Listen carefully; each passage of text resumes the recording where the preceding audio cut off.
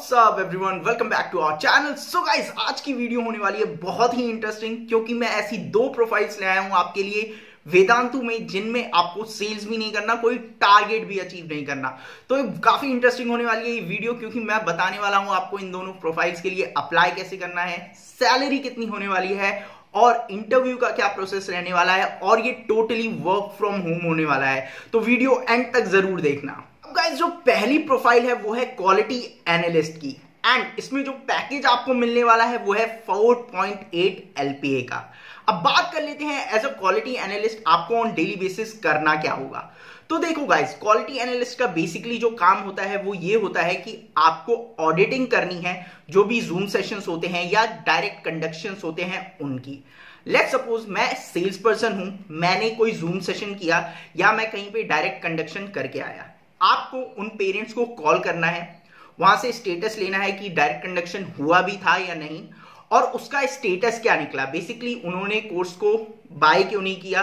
या कब बाय करेंगे? या क्या स्टेटस रहा था? वहाँ से फीडबैक लेना है आपको बेसिकली तो ये आपका रोल रहने वाला है। आपको इसी से रिलेटेड डेटा मिलेगा। एंड आपको रोज हंड्रेड कॉल्स के अराउंड करना है इस प्रोफ़ाइल में। वो वाली कॉल्स बिल्कुल नहीं होती हैं जहाँ पे आपको पेरेंट्स थोड़ा सा भी एंटरटेन नहीं करेंगे। तो पेरेंट्स यहाँ पे आपकी बात सुनते हैं, वो बताते भी हैं कि उन्हें प्रॉब्लम कहाँ पे आई। तो पाँच मिनट की एक एवरेज कन्वर्सेशन रहती है और जो टॉक टाइम यहाँ पे आपको पूरा करना है, वो बेसिकली थ्री आवर्स का है। 2.5 आवर्स का टॉक टाइम एवरेज लेकर चलो यहाँ पे जो आपको पूरा करने को मिलेगा एंड ट्रस्ट में ये पूरा हो जाता है। यहाँ पे जो ऑडियंस आपको मिलने वाली है, वो वही ऑडियंस होगी जिनको सेल्स पर्सन सेल आउट करते हैं। बट एक चीज़ का फ़र्क ये आ जाता है कि यहाँ पे आप एज अ फीडबैक पर्सन बात कर रहे हो फीडबैक ले रहे हो। तो जो पेरेंट्स हैं, वो आपको अच्छा खासा एंटरटेन करते हैं, वो अपनी प्रॉब्लम्स भी शेयर करते हैं कि मुझे कोर्स अच्छा नहीं लगा या मुझे ज़्यादा कॉस्टली लगा, ये सारी चीज़ें। तो एक एवरेज टॉक टाइम आपका यहाँ पे फाइव मिनट्स का बन जाता है। तो या 2.5 आवर्स या टू आवर्स का टॉक टाइम या थ्री आवर्स का टॉक टाइम आप इजिली यहाँ पे कवर कर सकते हो। तो इसकी में काफ़ी अच्छी प्रोफ़ाइल है लाइक आपको बस कॉलिंग करनी है एंड 4.8 एलपीए यहाँ फिक्स्ड है। आपको इसके साथ कोई भी इंसेंटिव नहीं मिलने वाला, कोई सेल्स टारगेट नहीं है या कुछ ऐसा नहीं है। ऑन डेली बेसिस आपको एक ही काम करना है। एंड जो भी आपको डाटा दिया जाएगा, उनको रीच आउट करना है कैसे भी करके।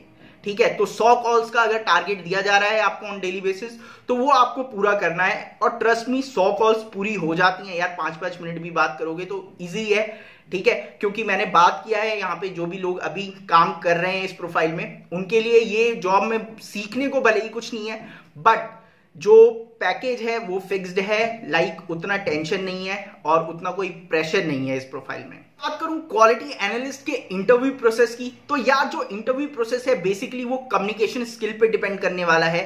आपको यहाँ पे दो राउंड देने होंगे। फ़र्स्ट राउंड जो होने वाला है वो एक टेलीफोनिक राउंड होने वाला है। आपको बेसिकली कॉल पे इंट्रोडक्शन लिया जाएगा एंड आपकी स्क्रीनिंग की जाएगी। तभी आपको नेक्स्ट राउंड में भेजा जाएगा। अब बात कर लेता हूँ सेकंड राउंड की, जो कि होने वाला है वीडियो कॉल इंटरव्यू एंड यहाँ पे आपसे एचआर मैनेजर या बिज़नेस डेवलपमेंट मैनेजर आपका इंटरव्यू लेंगे। एंड अगर आप ये इंटरव्यू क्लियर कर लेते हो तो ये जॉब आपकी है। जो कि क्वेश्चंस यहाँ पे पूछे जाएँगे, वो सिमिलर होने वाले हैं सेल्स से रिलेटेड बट यहाँ पे कोई आपको सिनेरियो नहीं दिया जाएगा कि आपको सेल करना है, या कुछ ऐसा नहीं बोला जाएगा कि आप कोई कोर्स सेल आउट करके दिखाओ। तो सिंपल सिंपल एक नॉर्मल इंटरव्यू रहने वाला है, जहाँ पे ज़्यादा जो मैटर करेगा, वो कम्युनिकेशन स्किल आपकी मैटर करेगी, और आप कितना कॉन्फिडेंट हो, वो मैटर करेगा। जो नेक्स्ट प्रोफ़ाइल है, वो है सेल्स ट्रेनर की जी हाँ यहाँ पे आपको जो पैकेज मिलने वाला है, वो 5.8 एलपीए का है।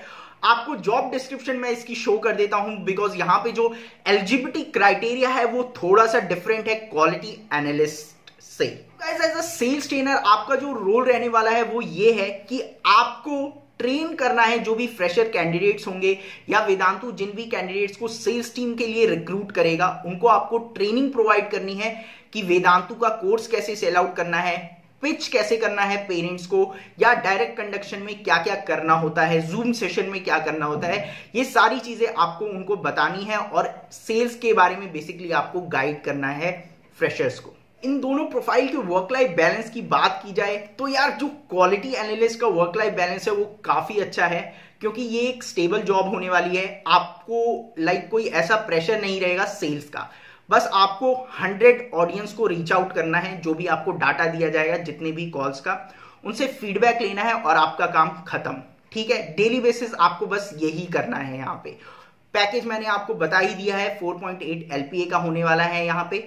सेल्स ट्रेनर का जो वर्क लाइफ बैलेंस है, वो कुछ ऐसा रहने वाला है कि आपको ट्रेन करना है कैंडिडेट्स को। लाइक टू वीक्स के लिए आपको एक पर्टिकुलर अमाउंट ऑफ़ कैंडिडेट्स दिए जाएँगे, जिनको आपको सुबह से लेकर के शाम तक ट्रेन करना है।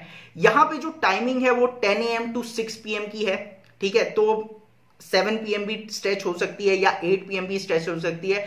ये डिपेंड करता है आपके ट्रेनिंग स्किल्स पे कि आप कितना टाइम दे रहे हो, कितना एलैबोरेट करके जो फ्रेशर्स हैं, उनको बता रहे हो।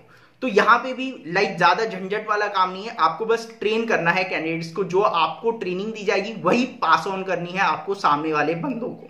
ये थी एक धमाकेदार वीडियो वेदांतु की कुछ प्रोफाइल्स पे, जिनमें आपको सेल्स भी नहीं करना था और टारगेट भी कोई अचीव नहीं करना है। तो गाइस अगर वीडियो अच्छी लगी हो तो इसको ज़्यादा से ज़्यादा शेयर करना लाइक करना एंड यार चैनल को सब्सक्राइब कर दो। Bye take care